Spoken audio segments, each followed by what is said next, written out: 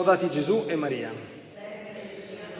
Stiamo celebrando la tredicesima domenica del tempo ordinario. Fratelli e sorelle carissimi, ieri sera durante la prima liturgia, portata di questa liturgia, ho approfondito la seconda parte del Vangelo sull'accoglienza del profeta e del giusto, unitamente con la prima lettura, dove c'è questa sunamita che accoglie il profeta Eliseo e ne riceve come grazia la nascita miracolosa di un figlio. C'erano altri due argomenti da approfondire con distinte omelie, che sono la prima parte del Vangelo, che sarà oggetto, se ti vuole, della prossima omelia, e poi la stupenda seconda lettura, che è un passo veramente focale della lettera di San Paolo ai Romani, dove San Paolo cerca di farci ben comprendere cosa significa essere battezzati e quindi conseguentemente come deve essere la vita di un battezzato degno di questo nome. Brevemente la ripercorriamo insieme. San Paolo comincia con una domanda, domanda quasi retorica. Fratelli, non sapete che quanto siamo stati battezzati in Cristo Gesù, siamo stati battezzati nella sua morte.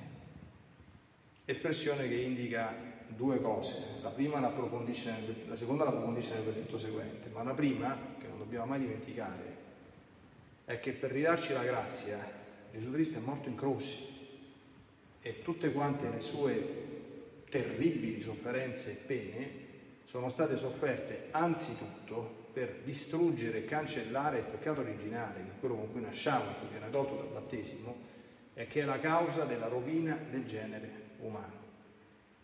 Mi raccomando, figlioli miei cari, perché se nella nostra fede divina e cattolica non è chiara molto chiara la dottrina sul peccato originale, finisce completamente la, la ragione d'essere stessa del cristianesimo e la necessità della Chiesa per la salvezza. Poi però San Paolo approfondisce dicendo attenzione, per mezzo del battesimo dunque siamo stati sepolti, attenzione, insieme a lui nella morte affinché come Cristo fu risuscitato dai morti per mezzo della gloria del Padre, così anche noi possiamo camminare in una vita nuova. Che significa questa cosa? Significa che attraverso il sacramento del battesimo noi siamo stati sepolti con Cristo. In che senso? Siamo morti con Lui. Ma come siamo morti? In che senso? Lo spiega San Paolo nell'ultimo versetto. Consideratevi morti al peccato ma viventi per Dio in Cristo Gesù. Cioè, una persona che è battezzata al peccato è morto. Sapete che significa? Un morto avete mai visto? Che fa un morto? Niente. Un morto è inerte, non compie nessun tipo di azione perché è un cadavere. Allora, cosa sta San Paolo? Se a un battezzato si gli si para dinanzi o per una tentazione o per un'occasione un peccato lo fa secondo voi un battezzato? Volontariamente? No, perché è morto. Cioè il peccato, ti sta dicendo, il peccato per un battezzato è morto, è come se non ci fosse. Come quando qualche giovanotto mi dice, mi fa le domande sul sesto comandamento, dice che si può fare e che non si può fare. Guarda, tu devi fare un discorso semplicissimo. Per un cristiano l'argomento del sesto non c'è.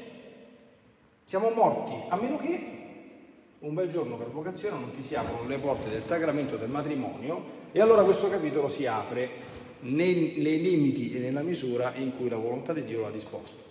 Se no, questa cosa tu devi considerare come se non ci fosse, perché così l'hanno sempre considerata in duemila anni tutti i santi e dottori, tutti, nessuno escluso. Quindi c'è, ma non c'è, cioè lo fanno tutti? Sì, sì, lo fanno tutti, ma io sono morto, cioè non, non, non mi tocca proprio quella cosa lì. Tra qualche giorno la festa di Santa Maria Coretti, patrona della nostra diocesi, io sono di Latina, quindi a Latina è super solennità perché è la patrona principale dell'Agropontino. Che cosa ha detto Santa Maria Coretti e Alessandro Serenelli? Che faccio io? Un rapporto prematrimoniale? Manco morta, cioè tu vuoi pure ammazzare questa cosa, non la farò mai. E si è fatta ammazzare. Si è fatta ammazzare. Quindi capite? Perché quella cosa non si fa mai in nessun caso e per nessun motivo. manco morti, morti al peccato. Sto facendo un esempio per farvi capire, ma così vale per tutti. Un battezzato non va a messa la domenica. Se sto a letto con 40 di febbre o con 42, se sto in ospedale ricoverato, per carità, è ovvio, ma se non esiste che non vada a messa la domenica.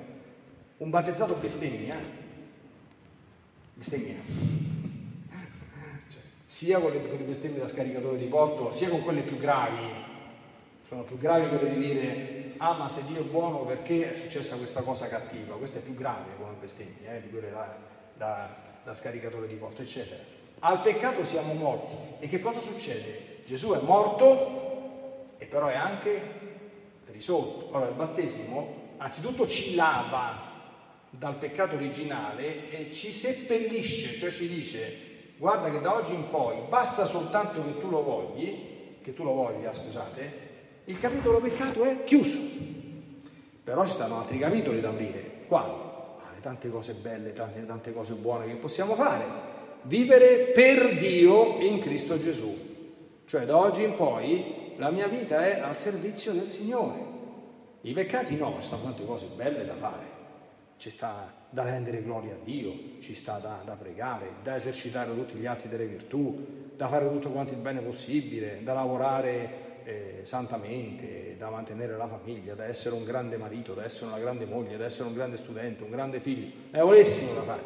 Quindi su questo carta bianca, quindi per il bene si va alla grande, ma al male le porte sono chiuse. San Giovanni nelle sue lettere dice la stessa cosa, un'espressione che qualcuno rimane un pochino perplesso. Sapete cosa dice? Chiunque è nato da Dio non pecca. Chi pecca non lo ha mai visto né conosciuto. È chiaro, attenzione, quando viene usato il, termine peccato, perché ci sono varie terminologie e vari significati di peccato. I cristiani si confessano quelli che vogliono fare una vita devota da santi anche tutte le settimane però c'è peccato e peccato, come il termine un pochino ambiguo, dice ma noi siamo peccatori. Quando comincia la messa, oggi abbiamo fatto la sperges, se facciamo l'atto penitenziale, molto peccato in pensieri, parole. Allora, in che senso però? In che senso qui San Paolo dice che siamo morti al peccato? In che senso San Giovanni dice che chi è nato da Dio non pecca? C'è peccato e peccato. Il peccato in senso forte è il peccato volontario, cioè tu sai che una cosa è contraria alla legge di Dio nel poco veniale o nel tanto mortale e tu pur sapendolo lo fai. Questo un battezzato non lo fa. Poi l'atto penitenziale o l'offertorio della messa antica, sapete come diceva il sacerdote offriva l'ostia e diceva Signore accetta quest'ostia per gli innumerevoli peccati, omissioni negligenze e, e inadempienze mie e dei presenti, innumerevoli, allora le imperfezioni, i peccati semideliberati, i difetti che abbiamo, ah, se il nostro Signore ci facesse vedere tutti ci prenderebbe l'infarto, d'accordo? Questi non possiamo evitarli, questi dobbiamo piano piano conoscerli con l'aiuto della grazia, cercare di combatterli, quindi correggere i difetti, eh, moderare i vizi, toglierci le imperfezioni volontarie e crescere. Questo è il lavoro perpetuo che dobbiamo fare, aiutati da, dalla grazia, e questo è anche il motivo per cui la Chiesa raccomanda la confessione frequente, anche quando non si commettano peccati gravi come un battezzato non deve commettere. Però deve essere chiaro che il peccato con la P maiuscola è una cosa che a un battezzato degno di questo nome è estranea.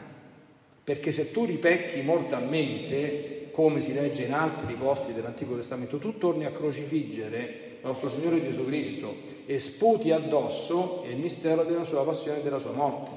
E questo noi non possiamo e non dobbiamo fare. Concludo, se siamo morti con Cristo, nel senso che abbiamo visto, crediamo che vivremo anche con Lui. Sapendo che Cristo risorto dai morti non muore più, la morte non ha più potere su di Lui. Sapete cosa sta dicendo? Che bella cosa che ci dice, che se tu vivi e custodisci la vita della grazia, puoi sperare che non morirai mai più, cioè che la tua anima non morirà mai più, non perderà mai la grazia, non farai mai peccato mortale. Guardate che questo la Chiesa lo insegna nel Concilio di Trento che mette nero su bianco ciò che già intuì Sant'Agostino, con cui concludo, l'ho detto tante volte. Volete sapere, una persona che non sta in grazia di Dio, quindi che non è battezzata o che pur battezzata verso la grazia, diceva Sant'Agostino, non può non peccare gravemente perché è schiava del diavolo. Una persona giustificata, cioè battezzata o che viva in grazia, può non peccare, perché se vuole, con l'aiuto della grazia, può stare lontano dal peccato. E invece quando saremo in paradiso non può peccare. In paradiso diventa impossibile fare il peccato, qui è possibile non farlo, in paradiso diventa impossibile farlo perché l'unione con Dio è talmente grande che in paradiso il male non c'è, Dio, in, Dio, in, Dio, il male non c'è e quando saremo fusi con Lui nella visione beatifica del male non sapremo più neanche che, che, che, che cosa sia. Qui però, rivestiti della grazia di Cristo che non è acqua, possiamo combatterlo e vincere. Siamo lodati Gesù e Maria.